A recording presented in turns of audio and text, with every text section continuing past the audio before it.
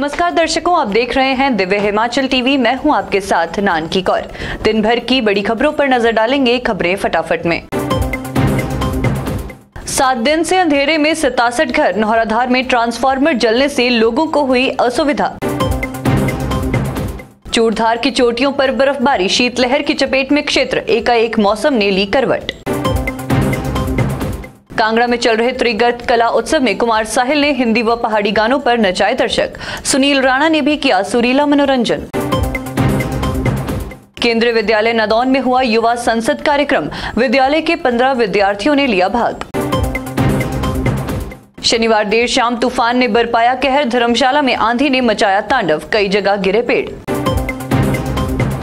डेढ़ साल बाद जोनल अस्पताल मंडी में शुरू हुए हड्डियों के ऑपरेशन। तीन लाख रुपए खर्च करके ठीक हुई, खराब पड़ी सी आम मशीन। सुगंधित और औषधीय पौधों से बढ़ेगी मंडी के बागवानों की आमदनी। पाँच दिन तक लखनऊ में प्रशिक्षण लेंगे बागवान। नशे की कुरीतियों से ध्यान भटकाने के लिए खेलकूद प्रतियोगिता। जिला स्तरीय लक्ष्मी नारायण सैंज मेले में जिला भर की 36 टीमें ले रही भाग। प्रदेश के धार्मिक स्थलों के लिए सजग है प्रदेश सरकार। श्री नैना देवी मंदिर में बोले हिमाचल प्रदेश के chief secretary Prabodh Saxena.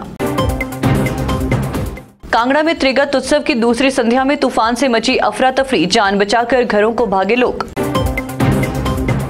National highway सात, चंडीगढ़, देहरादून, माजरा के पास गिरा पेड़, वाहनों के पहिए थमे।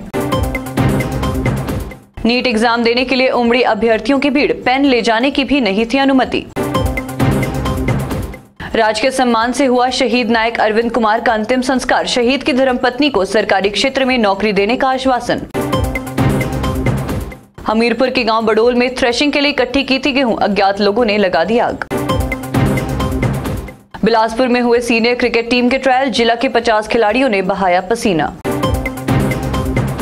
नीट की परीक्षा के लिए उमड़ा हुजूम, ट्रैफ़िक व्यवस्था चरमराई, सड़क की दोनों तरफ़ खड़े अभिभावकों के वाहन बने बस चालकों के लिए परेशानी का सबब।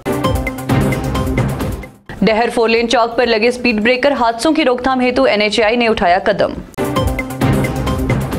मिस हिमाचल सब टाइटल को लेकर कांटे की टक्कर, photogenic Shreya, perfect body Sakshi व रैम्प वॉक का श्वेता के सिर सजा क्राउन, जबकि मंडी की नैन्सी को मिला मिस ब्यूटीफुल हेयर का खिताब।